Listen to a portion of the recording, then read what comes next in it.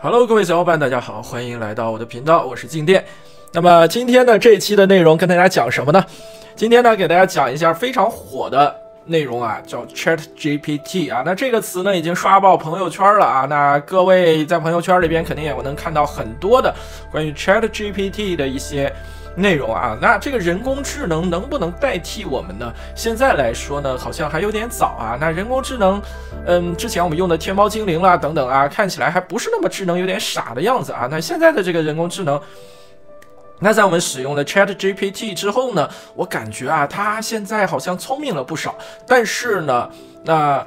好像它还不是能像我们完全的一个人一样具有情感，或者说跟我们随意的聊天啊，它还是一个工具。那么这样好的一个人工智能，它能给我们做什么呢？首先我明确一点啊，ChatGPT 它是一款工具啊，它只能依据现有的网上的内容呢，它来整理和归纳。所以你不要指望说呢，它跟你去做一个朋友，或者说跟你谈一谈感情啊，这个不太可能。那么今天呢，我们作为 UI 设计师。我想跟大家去聊一聊啊，那 Chat GPT 可以为我们 UI 设计师帮到什么内容啊？那开门见山，我总结了以下的三点啊。那第一点。它可以帮助我们进行数据的统计啊，这个非常的好用。等一会儿给大家演示一下。那第二点呢，数据和信息的生成，这个也是非常的牛的啊。那第三点，哎，那我们来一个实战的内容啊，大厂面试题的模拟回答。等一会儿呢，我们会模拟一场这个大厂面试题啊，看看这个呃 Chat GPT 会怎样帮我们来进行回答。好嘞，那我们先来打开这个 Chat GPT 给大家去看一下啊。那这个网站呢，我已经嗯打开了啊。那注册这个网站呢，需要一点点的功夫啊。大家可以看一下线下的这些攻略。那我在这儿就不跟大家说这个攻略了啊。另外来说呢，我们访问它呢，稍微有一点点难度，我们需要让它完全是外网啊。那好了，那 Chat GPT 的这个地址呢，在这儿已经完全打开了啊。它现在就是这样的一个样子。那我们在这儿直接可以跟它去对话啊。那首先一点，我们来去做这个数据的一些统计哈。那我在这儿呢也准备了不少的问题啊，那我们看一看 ChatGPT 能不能帮助我们好好的回答一下这个问题。好了，那我们先来做一个实验啊，那看一下第一个问题，小试牛刀，我们来去问一问说，UI 设计师需要懂哪些的设计心理学，看看他能不能去回答出来，或者说回答的质量怎么样啊？当然呢，这个题我们作为这个呃搜索引擎，它也可以直接去搜啊，但是呢，肯定广告会比较的多，对不对？好，那它在这个生成的过程，它是有点慢的啊，它它在思考吧，可能是，它是一点儿一点儿出来的啊。我们在这儿呢，给大家去加个速啊。我看写的还是不错的啊。那心理学的知识，包括这个颜色心理学，还有易于理解的图形和符号渐进式的披露是什么鬼？那我想让他回答的是什么格式塔之类的东西啊？看来还有临近性的原则，他这儿写了一些亲密性的原则，有点类似啊。那总之来说，这个回答出来的是有点像模像样的啊。那看起来好，OK 还好吧？那我们问一下第二个问题啊，比如说，那我们现在想做一个旅行类的应用，或者说我们想做一个生鲜电商类的应用，这个时候我们要去做一些用户画像，对不对？那我们看一下。这个用户画像啊，嗯，这个 Chat GPT 能不能帮我们生成出来？那我们在这儿啊，这总是挡住啊，往上一点啊，给大家去看。好，那我们想做一个生鲜、生鲜电商、生鲜电商类的应用，那请帮我生成使用者的用户画像，就是大家再去。描述这些文本的时候，尽量用一个比较通俗易懂的文本，然后让大家来去让 AI 来去回答。如果你的话是前后语气的倒置啊，比如说咱们某个省份，它就容易这样的啊。比如说问吃饭了吗您？那这个时候 AI 可能会犯难了啊。那最好用一种正常的方式来回答。哎，生鲜电商类的用户画像啊，这个 ChatGPT 正在努力的帮我们思考。好，那么咱加个速吧。好，它生成了一个用户画像啊，那我们还可以生成三个用户画像。那我们再来一次啊，我们生成三个啊，一个肯定是不够用的。他说二十到五十岁的这个年轻人群，那这个岁数有点过了啊，那不足以形成我们的一个严谨的用户画像。Later. 好了，等了这么久啊，终于生成完了啊。那这个 AI 好像很痛苦的样子啊，我们有点难为它了。不过生成出来的这这几个呢，还是挺不错的啊，把不同的年龄段、不同的这个职业啦、收入啦等等啊，都给它写出来了。我觉得是一种非常好的一个体验。那接下来呢，我们再看看其他的啊，比如说，那我们想生成一下啊，那我们有一个生鲜类型的这个。应用，那我们看一下这个使用这个生鲜类型的这个应用的这个人到底有多少啊？那我们分享一下关于二零二二年中国的，那我们把话术编辑一下，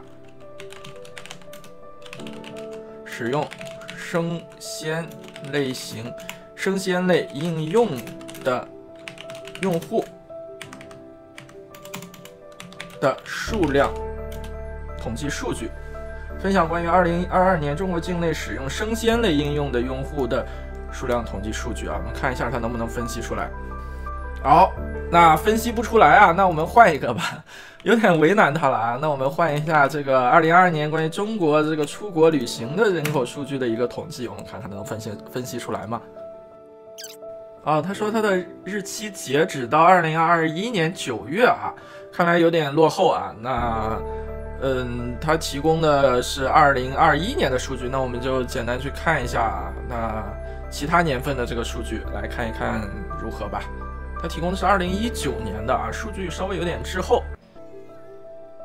好了，这个生成的还不错啊，那我们换一个数据来生成，看看能生成什么样子。那接下来呢，我们还是以生鲜电商类的这个应用来去举例啊。那我们看一看，呃，生鲜电商类有哪些竞品？那我们加一下啊，生鲜电商类应用哪些竞品，请帮我列出来。这个话术呢，尽可能的要去完善一下啊。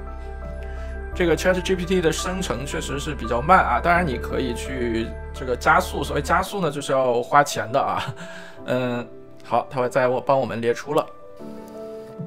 好的，已经生成完了啊，看起来还挺不错的。然后。然后宜家也提供生鲜配送服务啊，看来我的知识储备有限啊。好了，那我们再换一个啊，那我们想生成一个用户访谈的脚本啊，我们看看能不能生成。同样的，使用这个生鲜类的应用啊，生鲜类的，请帮我生成用户访谈的一个脚本儿。好，那我们来生成一下，难为一下 ChatGPT。好了，那 ChatGPT 已经帮我们回答了，我们看看怎么样啊？那用户访谈这个。回答的问题还是不错的啊！什么情况下会买生鲜？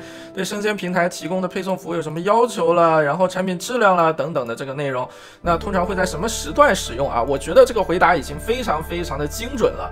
好了，那这是关于我们对于数据统计，还有让 ChatGPT 帮我们生成的一些文档内容。那接下来呢，我们来做一个第二个测试啊。那我们来去生成一些数据和信息，比如说我们想生成一个表格，我们来难为一下 ChatGPT，看看这个表格它能不能帮我生出来啊。在这儿呢，我想要一个简单的一个表格，那一共有三列的数据，第一行、第二行是月份，第三行是数据。我们来复制一下啊，这是我列好的一个话术，当然这个话术也可以更加的详细。那尽量让这个用一种最通俗的方式去展示出来。好，我们看看它能不能生出来。好，生成完了。生成的这个数据呢，其实我这个想要放它再放一行啊，它但是它把它移到这儿了。其实这么放的话有点错位啊，但整体它还是生成出来了，还不错啊。那接下来我们试试能不能生成一个饼状图啊，生成一个饼状图，看它有这个功能吗？OK，嗯，这个人工智能啊，它确实被逼的没办法，它给我们生成了一个呃文本描述的饼状图啊，挺有意思的啊，挺有意思的。但是我们还是希望有一个图片的饼状图，真是难为他了啊，还做的还好吧？来给你点个赞啊，点个赞。嗯，行。然后呢，我们来生成一个这个，我们来问他一些其他问题啊，比如说，那我们生鲜电商类的应用的 UI 界面首页应该放什么模块呢？啊，等的花儿都谢了啊，终于已经生成出来了。哎，这个生成的，嗯，还是很不错的啊。轮播图、搜索框、导航栏、推荐商品、限时折扣、热门活动、底部菜单，嗯，对于生成这样的一些文本来说呢，ChatGPT 确实是很不错的啊。我们来换一个，那我们来换一个配色的问题，看看配色它能不能生成出来。哎，生鲜电商类的应用应该用怎样的配色呢？OK，生成完了，他觉得应该以自然、清新、舒适为主啊，绿色和白色，橙色和白色有活力，橙色和黄色，蓝色、白色，紫色和白色，OK，还不错吧？当然，根据实际的情况来哈。那我们再问一个，嗯，比较普通的问题啊，有什么免费的图片素材网站吗？这个应该很好回答吧？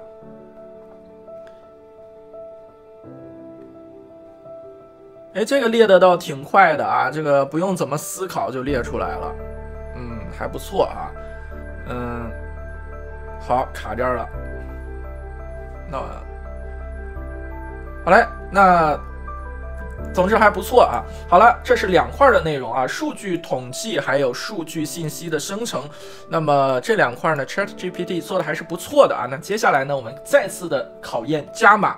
那我们来去看一下大厂面试题，它能如何的来去回答。我们要来去模拟一场大厂面试题，我来做面试官。啊，大厂的面试我来做面试官，让 Chat GPT 呢来应聘我们的 UI 设计师，看看他能怎么回答我提出的问题啊。那这是我提出的一些问题，等一下呢，我们来去做一些的这个总结啊。当然呢，这个话术你要好好的去描述，你描述不好的话呢，他回答就不好啊。那我们来看一下我来如何描述。我们新开一个 Chat 吧，New Chat，啊 New Chat，我们重新来清一下屏。好，那在这个 Chat 里边，嗯。我们来设置一些话术啊。首先呢，我要来告诉 Chat GPT，我要对它进行一场面试的模拟。然后他是什么呢？他是一个三十岁的 UI 设计师，男性，具有八年的设计经验。那么接下来呢，我们看看他如何来回答我提出的问题啊。只有以这样的一个方式启动的话呢，他才会进入一场面试之中。那我们来看看效果如何。好的，我准备好了，请问你有什么特别想问的问题吗？啊，好像有一点点不太乐意的情况啊。那我们首先让他来做个简单的自我介绍吧，我们看看他究竟能介绍出什么样子啊。让他来做个简单的自我介绍，请介绍一下你自己。好，那在我对他进行设定的这个内容之后呢，他来。做了自己的回答，专注于什么什么，然后来确保品牌形象和最佳的体验。我擅长将设计和艺术融合起来。哎，这个回答还真的挺不错的啊！这是我想要的回答，哎，这也是大厂面试官应该想要的回答。我的目标是始终作为开放、专业、对细节的关注和嗯，提升用户的一致性和满意度。嗯，作为面试官来说，我觉得第一个问题你回答的很不错啊。那我们来看一看第二个问题。那我想问问这个 Chat GPT 啊，那你之前做过什么项目？那我们来做个简单的自我介绍，好不好？我没有告诉他我做了什么项目啊，然后他开始编了。哎，他说我之前参与了很多项目，以下是我人最值得一提的一个啊，呃，在线教育平台的 UI 设计，还有一款移动支付应用的 UI。我让他继续编，我看你编，我看你编成什么样子啊？啊，一款健身应用的 UI 设计。好了，我们加一下速啊。好。这次回答还挺快的啊！每个项目他还做了单独的介绍，挺好的。如果你 Chat GPT 你提供一个作品集，我会更满意的啊。那，呃，希望未来你可以自己去画画，好吧？好了，那接下来我们看接下来一个问题啊。那我们问一点难的啊。那作为交互或者作为 UI 设计师来说，你应该如何去了解、如何去理解交互和产品思维啊？这块如何应该如何理解交互和产品思维？嗯，这个题目回答的也非常的棒啊！他觉得交互产品思维是非常重要的，不仅要考虑实现美观的外观，而且呢要理解用户，然后实现与产品进行一个交互，提升用户的体验啊！那产品经产品思维是个非常重要的概念，不拉不拉不拉不拉不拉。好，这个题呢也回答的，哎，我这个面试官挺满意的。那我们来看看下一个题啊，这个题是很多大厂面试官呢去问的一个问题啊，如何去衡量你的设计项目是否成功？请给出几种的这种衡量的指标。我们把它描述一下，嗯，两个指标。那你再去描述这个问题的时候呢，对面坐的是一个机器，当然你也可以理解是一个人。那你希望这他如何去理解的话呢？你就要把问题描述的更加的通俗易懂一些。好，我们加个速吧。好，他提到了几个指标啊，用户满意度、用户体验指标、业绩指标、品牌形象的指标。其实这几个指标呢，也是我们平时呢作为 UI 设计师要去考量的一个指标。那我们这个题呢算是过了啊，回答的挺不错的。那好，那我们来看一看，我们来一个难的啊。一般来说呢，很多的设计师会觉得，那我们需求方不认可我们的设计的时候，这个时候那你要如何去做？如果需求方不认可你的需求设计作品，你应该如何说服对方，或者说让对方认可你的设计呢？OK，那了解对方需求，提供理由和解释，以数据为支撑啊，提供备选方案。哎，这题目回答的真的是非常非常的标准呢。那接下来呢，我们刚才设定了一个问题，说他已经三十岁了啊，他非常的。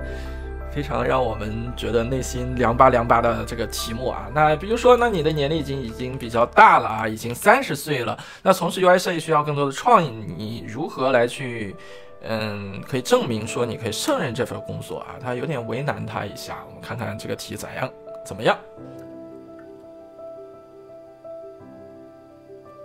？Two thousand years later，好了，回答完了啊，那。经过了好几年时间，他终于回答完了。那其实挺不错的啊。我这个问题是有点尴尬的，但是作为这个 UI 设计师来说呢，他首先就认为年龄不是恒定设计师创立的唯一要素。我觉得这个题目他真的是做的非常的赞啊。好了，那我们大厂面试题的回答呢，他算是完美的通过了啊。ChatGPT 的话呢，恭喜你正式入职。那我的公司，好，好了，那这就是。